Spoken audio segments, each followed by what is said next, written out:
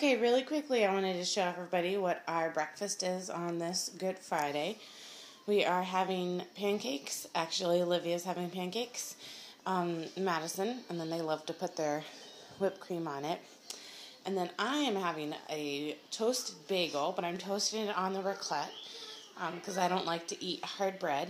And then underneath, I am cooking my omelet and the cool thing about putting your omelet in these um, trays is that when they come out, they will fit right on the bagel and it'll be kind of like one of those breakfast sandwiches from McDonald's. So that's what we are having on our raclette this morning.